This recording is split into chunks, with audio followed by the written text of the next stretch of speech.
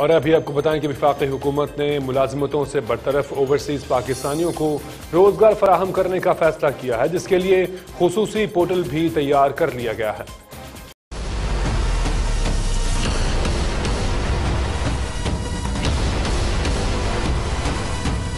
Corona virus की आलमी वबा के बायस मुलाजमतों से बरतरफ या वतन वापस आने वाले ओवरसीज पाकिस्तानियों के लिए अच्छी खबर आ गई है। हुकूमत ने नौकरियों से बरतरफ मेहनत कशों को रोज़गार देने का फैसला किया। इस हवाले से वज़ीर आज़म इमरान खान के मुआवन खसूसी बरए समंदर पार पाकिस्तानी सैयद जुल्फी बुखारी ने ओवरसीज पाकिस्तानियों के लिए खसूसी पोर्टल तैयार किया है। जहाँ मुलाजमतों से महरूम होकर वतन वापस आने वालों का रिकॉर्ड मुरतब किया जाएगा। जुल्फी बुखारी का कहना है कि जिन ओवरसीज पाकिस्तानियों की बैरून मुल्क नौकरी खत्म हो चुकी तो वो खुद को वेबसाइट पर रजिस्टर करवा लें। दरखास्तें देने वाले अफराद हकूमती कोशिश से दोबारा से मुलाजमत के अहल हो सकते हैं। मुलाजमतों से महरूम होकर वतन वापस आने वाले अब दोबारा रोज़गार के अहल होंगे। इस सिलसिले में ओवरसीज एम्प्लॉयमेंट कॉरपोरेशन की वेबसाइट पर रजिस्ट्रेशन शुरू हो चुकी है। हुकूमत की कोशिश से वो दोबारा मुलाजमत के अहल हो सकते हैं।